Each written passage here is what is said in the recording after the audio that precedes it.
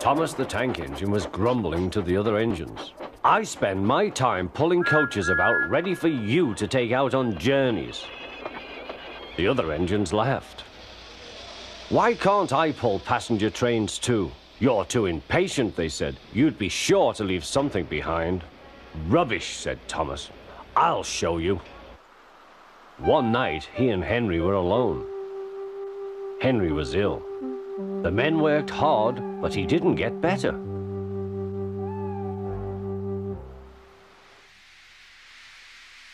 He felt just as bad next morning.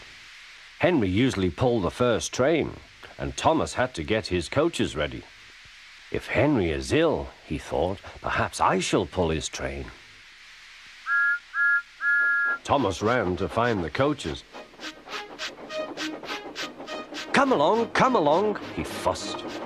There's plenty of time, there's plenty of time, they grumbled. Thomas took them to the platform and wanted to run round in front at once. But his driver wouldn't let him. Don't be impatient, Thomas. Thomas waited and waited. The people got in. The guard and station master walked up and down. The porter banged the doors, and still Henry didn't come. Thomas got more and more excited.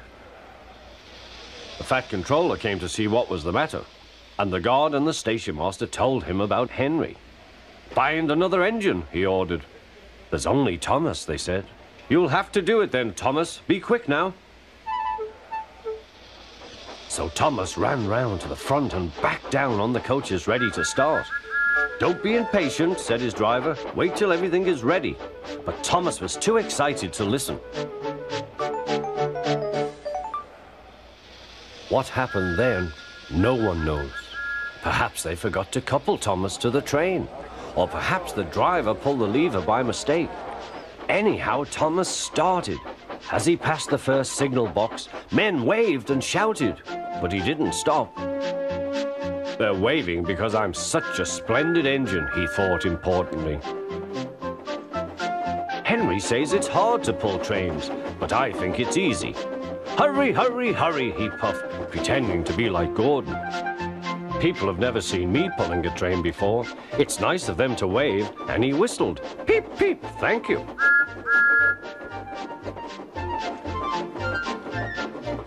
Then he came to a signal at danger.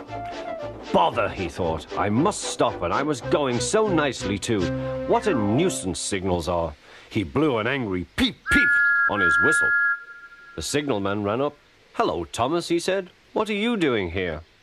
I'm pulling a train, said Thomas. Can't you see? Where are your coaches, then? Thomas looked back. Why, bless me, he said, if we haven't left them behind. Yes, said the signalman. You'd better go back quickly and fetch them.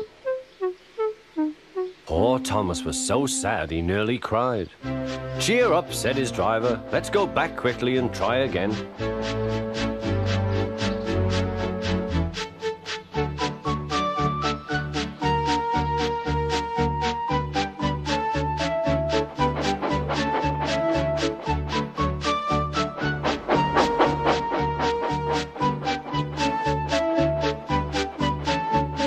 The station, all the passengers were talking at once. They were telling the Fat Controller what a bad railway it was. But when Thomas came back, they saw how sad he was and couldn't be cross. He was coupled to the train, and this time he really pulled it.